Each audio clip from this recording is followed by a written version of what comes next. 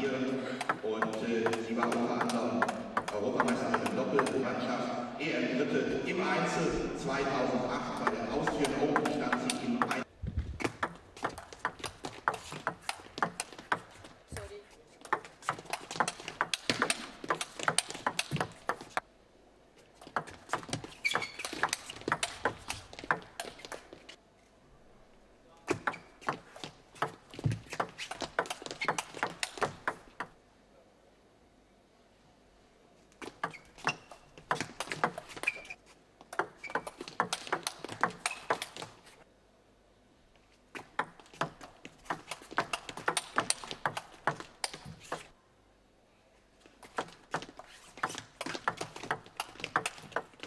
없어요.